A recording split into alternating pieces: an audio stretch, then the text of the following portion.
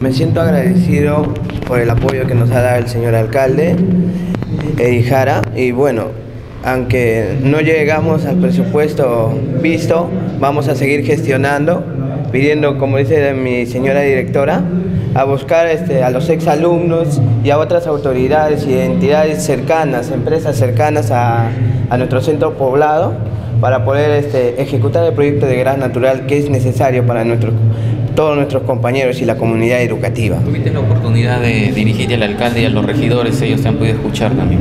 Sí, sí. Eh, sí me he dirigido a ellos y de la misma forma agradeciendo, agradeciéndole y también haciéndole presente que ellos van a visitar el día 3 a nuestra institución educativa, van a venir a visitarlo para que vean cómo hemos estado trabajando, hemos movido ya la tierra, estamos echándole guano y pensábamos tener el presupuesto que habíamos pensado ¿no? en el documento para de una vez comprar y comenzar a proceder con el proceso, ¿no? Y con otra parte que están pidiendo, cuando van a gestionar, van a pedir otras autoridades, de repente la empresa privada también.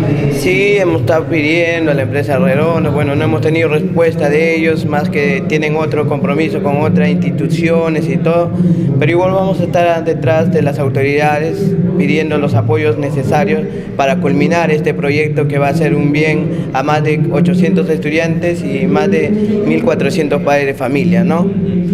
Va a beneficiar a, de los, de los eh, claro, a nivel primaria, secundaria. primaria y secundaria, ¿no? Eso es lo que va a facilitar el deporte educativo y también quizás las clases en aire, en aire libre, que es necesario porque los estudiantes no pueden estar educándose bajo cuatro paredes nada más, también pueden educarse en el aire libre, ¿no?